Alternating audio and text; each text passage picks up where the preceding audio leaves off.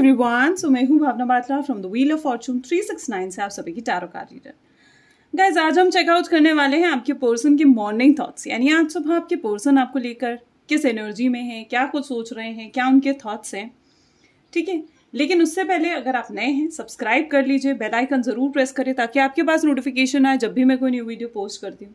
आप चाहते हैं ना मैं आपके लिए और ऐसी वीडियोस बनाऊँ तो फटाफट से इस वीडियो को लाइक करना है. ज़्यादा से ज़्यादा मतलब आप शेयर कीजिए, अगर आप फेसबुक पर हैं तो फॉलो भी कीजिए मेरे पेज को और व्हाट्सएप ग्रुप अगर आप ज्वाइन करना चाहते हैं तो मेरे व्हाट्सएप ग्रुप का लिंक इस वीडियो के डिस्क्रिप्शन बॉक्स में है। वहाँ से आप ज्वाइन कर सकते हैं। और अगर आप हमारे कोर्सेज में इनरोल करने चाहते हैं, अब फ़र्स्ट में से टैरो कोर्स स्टार्ट हो रहा है तो अगर आप हमारे कोर्सेज में इनरोल करना चाहते हैं तो आप मेरी टीम से कांटेक्ट कर सकते हैं। नंबर डिस्क्रिप्शन बॉक्स में है, हमारे प्रोडक्ट्स के लिए आप मेरी टीम से कांटेक्ट कर सकते हैं। ठीक है? तो चलिए फिर आगे चलते हैं। देखिए स्पेसिफिकली अगर आप एक नो कॉन्टैक्ट सिचुएशन में हो सेपरेशन मोड में हो तो ये रीडिंग आपके लिए। ठीक है? अगर मतलब आप अभी तक लाइक ऑन एंड ऑफ़ आपकी सिचुएशन चल रही है, आपके पर्सन से आपकी बात होती है, और फिर एक लंबा नो कॉन्टैक्ट में आप चले जाते हो तो ये रीडिंग आपके लिए। इसमें जितना पार्ट भी आपको लगता है आपके साथ रेजोनेट कर रहा है, उसे रखिए। बाकी चीज़ों को इग्नोर कीजिए। है ना? क्योंकि कलेक्टिव रीडिंग है। हर पर्सपेक्टिव इस रीडिंग के अंदर डाला जाता है। तो गाइस जैसे कि मैं बात कर रही थी काच की तो जब मैं काच को शफल करूँ, ठीक है तो उस समय आप अपने पर्सन के बारे में ही सोचिए, अपने रिलेशनशिप के बारे में सोचिए, आपके दिल में जो फीलिंग्स है ना, उन फीलिंग्स के बारे में सोचिए। उससे क्या होगा ना, ये रीडिंग एक अच्छे लेवल से आपके साथ रेजोनेट करेगी। तो चलिए फिर, देर किस बात की? चेकआउट करते हैं आपके पर्सन क्या सोच रहे हैं आज सुबह।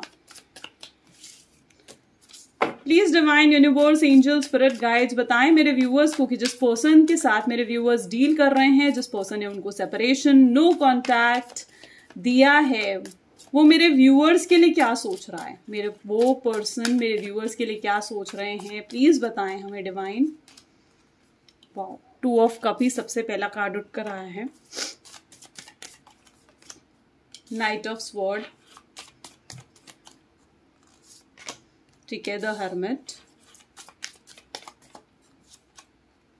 sun the sun की एनर्जी है। ओके एट ऑफ़ स्वॉर्ड और बॉटम में देख लेते हैं। बॉटम में है। एस ऑफ़ स्वॉर्ड ठीक है चलिए और भी कार्ड्स देखते हैं, फिर मैं आपको एक्सप्लेन करती हूँ। प्लीज़ डिवाइन यूनिवर्स एंजल्स बताएँ मेरे व्यूअर्स को कि जिस पर्सन के साथ मेरे व्यूअर्स डील कर रहे हैं, जिस पर्सन ने उनको नो कॉन्टैक्ट सेपरेशन दिया है, वो आज सुबह वो पर्सन मेरे व्यूअर्स के लिए क्या थिंकिंग रख रहे हैं? प्रोजेक्शन इंटीग्रेशन ओके ये कार्ड लेंगे. आउटसाइडर ठीक है सेलिब्रेशन माइंड बॉटम में है वाव द करेज ओके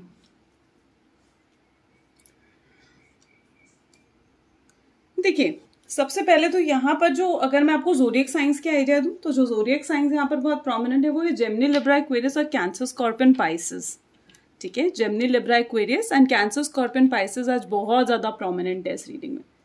ये जो मैं जोरियक्स बताती हूँ ना बेसिकली ये आपको हेल्प करता है ये जानने में कि रीडिंग आपके साथ कनेक्टेड है या नहीं, ठीक है? अगर कई सिचुएशन में ऐसा होता है कि जोडियक्स आपके साथ नहीं मैच कर रहे तो इसका मतलब ये नहीं है कि रीडिंग आपके साथ कनेक्ट नहीं करेगी या रेजोनेट नहीं करेगी। ये सिर्फ़ आपकी हेल्प के लिए होता है, ठीक है? ताकि आप इस रीडिंग के साथ और स्ट्रॉन्ग कनेक्शन महसूस कर सके। देखिए तो ऑलमोस्ट सबके लिए है आ, लेकिन मैंने जोडियक साइंस आपको बता दिए हैं।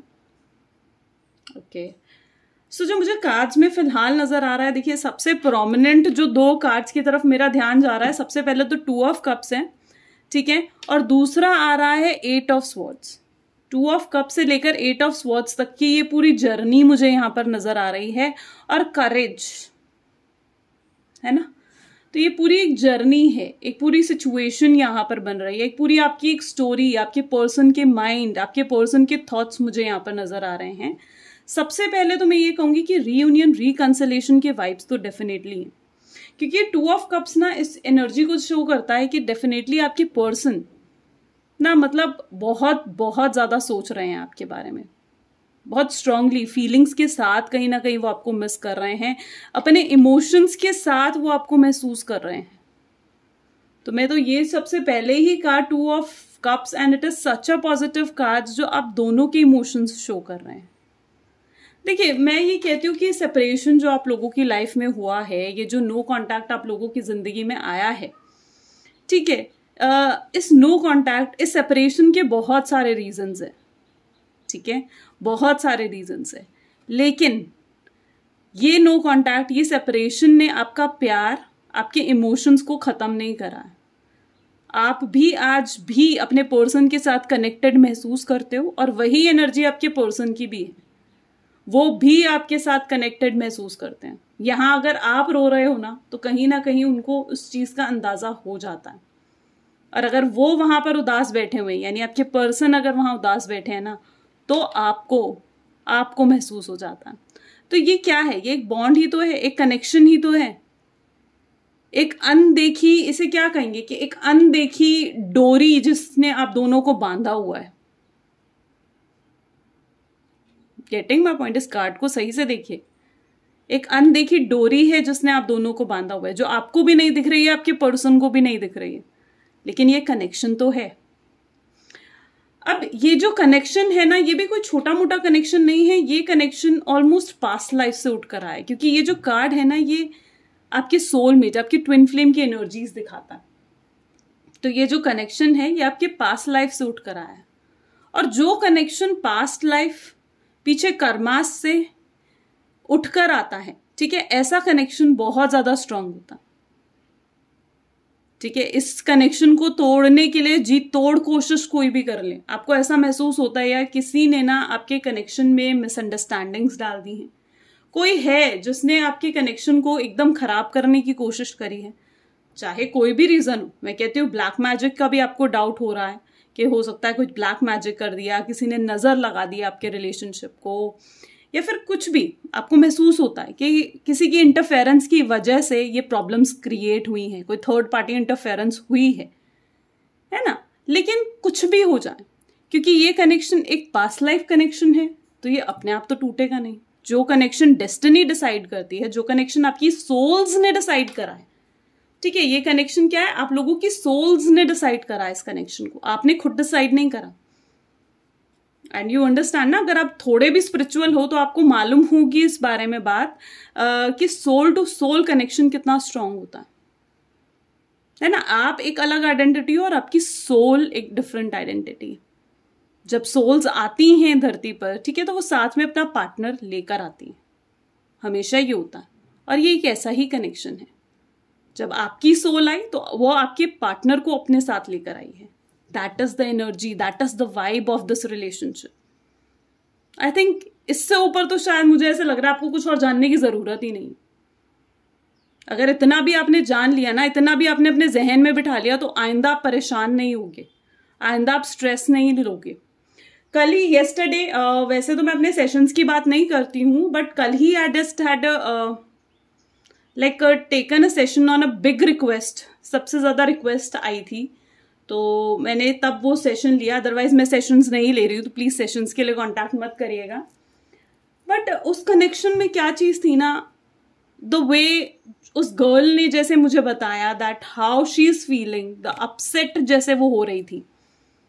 आई कैन रियली सेंस कि यार जो कनेक्शन सोल का है ना ठीक है वो कभी भी कभी भी मतलब आ, अपने आप डिस्कनेक्ट नहीं होता। चाहे उसमें कोई कितनी ही प्रॉब्लम्स क्यों ना क्रिएट कर ले। चाहे वो लाइक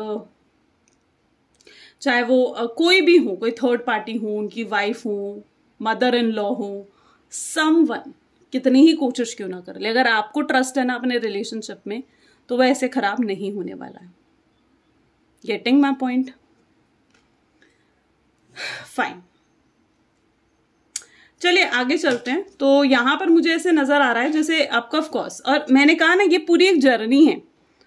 ठीक है, ये पूरी एक जर्नी जाती हुई सी दिख रही है, जहाँ पर आप लोग बहुत कनेक्टेड महसूस करते हो एक दूसरे के साथ। ये पास्ट लाइफ कनेक्शन है, खत्म नहीं होने वाला है। आपके पर्सन ने, जैसे मैंने कहा ना, बहुत सारे रीजंस है इस नो कॉन्टैक्ट के। बहुत स्ट्रांगली मिसअंडरस्टैंडिंग उनके दिमाग में भरी गई है आपके खिलाफ। आपके खिलाफ मुझे ऐसे दिख रहा है काफ़ी नेगेटिविटी भरी गई है आपके पर्सन के माइंड में। बहुत गलत फहमी है, बहुत ओवर थिंकिंग कर रहे हैं माइंड का कार्ड देख लो। कितनी ओवर थिंकिंग है आपके माइंड आपके पर्सन के माइंड में? आपको लेकर गलत मलत सब सोच रहे हैं। उनको ऐसा महसूस हो रहा है जैसे आप उनके साथ टाइम पास कर रहे थे, या फिर आप उनसे प्यार नहीं करते हो। आपने उनका बिहेवियर देखा होगा इन दिनों। सो so वियर्ड कितना वियर्ड बिहेवियर रखा है उन्होंने। छोटी सी बात का बतंगड़ बनाना, छो, आपको वैल्यू नहीं देना, आपको इग्नोर करना, आपके कॉल्स आपके मैसेजेस लेकिन ये कॉल और मैसेज इग्नोर करने का रीज़न क्या है? स्पेसिफिकली यही रीज़न है कि उनके दिमाग में बहुत सारी मिसअंडरस्टैंडिंग बहुत सारी गलत फहमियाँ हैं, जो वो आपके पास आकर आपसे क्लियर तो करना चाहते हैं, लेकिन कर नहीं पा रहे हैं। आपके बिना वो एकदम ऐसे हो चुके हैं, बिल्कुल अकेले। बिल्कुल अकेलापन जैसे उन्हें घेर चुका है। ऐसी उनकी एनर्जीज हो चुकी है आपके पर्सन उन्हें ऐसा महसूस हो रहा है जैसे कहीं ना कहीं ना आपने उन्हें अपनी ज़िंदगी से निकाल के जैसे बाहर फेंक दिया। एकदम वैसा महसूस कर रहे हैं। गलती आपके पर्सन की थी नो डाउट लेकिन उनके ओवर थिंकिंग कर करके कर करके वो ऐसा महसूस करने लग गए हैं जैसे गलती आपकी थी। उनको ऐसा लग रहा है जैसे आप उन्हें धोखा दे रहे थे। आपने उन्हें आउटसाइडर की तरह फील करा रहे हो। उन्हें ऐसा महसूस हो रहा है आउटसाइडर की तरह कि आप वो आपकी ज़िंदगी से जैसे बिल्कुल बाहर हो चुके हैं। उनको ऐसा महसूस हो रहा है जैसे आप उनके साथ टाइम पास कर रहे थे या आप उनको टेकन फॉर ग्रांटेड लेने लग गए थे, आप उनको अहमियत नहीं दे रहे थे, आप उनके इमोशंस आपको उनसे प्यार नहीं है। और ये सोच के वो रोते हैं क्राई करते हैं, रोते हैं ये चीज़ें सोचकर। आप उनके चेहरे की उदासी देखोगे ना तो आपको समझ में आएगा, आप देख रहे हो। एक पर्सन का सर कब झुका हुआ होता है, कब आँखें बंद हो जाती हैं। कब ऐसी सिचुएशन में आता है एक पर्सन जब वो बहुत ज़्यादा उदास होता है। उसको जब ऐसा महसूस होता है कि यार अब कुछ और बचा ही नहीं है मेरी ज़िंदगी में। ठीक है?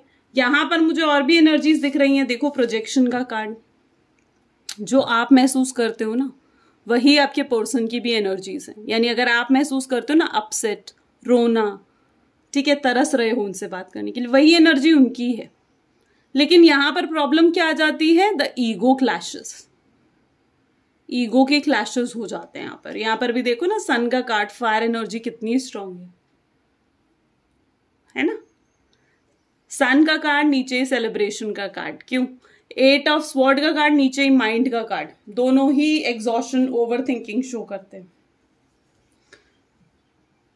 आपके साथ भी ऐसे होगा कि लंबे समय से कोई हँसी खुशी की खबर नहीं सुनी, कोई पार्टी अटेंड नहीं करी करी है तो कभी एंजॉयमेंट महसूस नहीं करा उस चीज़ में। लेकिन अब चीज़ें बदल रही हैं। चीज़ें चेंज हो रही हैं। आपके पर्सन की एनर्जीज देखूँ ना तो वो अब इस एफर्ट डालना चाह रहे हैं इस रिलेशनशिप में। आप इस करेज के कार्ड को देख रहे हो।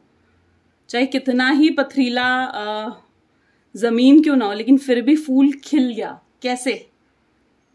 एकदम सिचुएशन ऐसी थी कि आप ये क्या चीज़ डिनोट कर रहा है, क्या चीज़ शो कर रहा है? ये सिचुएशन बिल्कुल कैसी थी कि बिल्कुल होप ही नहीं थी कि यहाँ पर कोई फूल उग भी सकता है, कोई फूल ग्रो भी कर सकता है। नहीं थी ना कोई ऐसी सिचुएशन पत्थर पे कभी फूल ऐसे ग्रो करते हैं? नहीं ना, कभी फ्लावर्स यूँ नहीं ग्रो करते देखे। लेकिन यहाँ हुआ है, यानी क्या चीज़ शो कर है? कोई ऐसा काम जो बिल्कुल असंभव था, होने की ही आकांक्षा नहीं थी, फिर भी वो काम हो गया। ये उस चीज़ को डिनोट कर रहा है। क्या आप जब पूरी तरीके से होप खो दोगे ना कि नहीं, अब शायद कुछ भी नहीं हो सकता है इस रिलेशनशिप में। उसी समय ये फूल उगेगा। उसी समय ये ग्रोथ आप देखोगे अपने रिलेशनशिप में। तो फिर क्यों टेंशन लेते हो? क्यों इतने स्ट्रेस लेते हो? है ना? इतनी स्ट्रेस लेने से चीज़ें अगर सॉल्व होती तो शायद आधी दुनिया दुखी होकर बैठी होती। स्ट्रेस लेने से एंग्जाइटी लेने से कभी भी कोई चीज़ें सॉल्व नहीं हुई हैं। एक्शंस लेने से हुई हैं हैप्पीनेस के साथ हुई हैं सेल्फ लव के साथ हुई हैं। और वही आपको लेकर आना है। है ना? तो this is the energy for today अगर आपके साथ रेजोनेट करी तो लाइक कमेंट फॉलो शेयर ज़रूर करें। Thank you so much bye and take care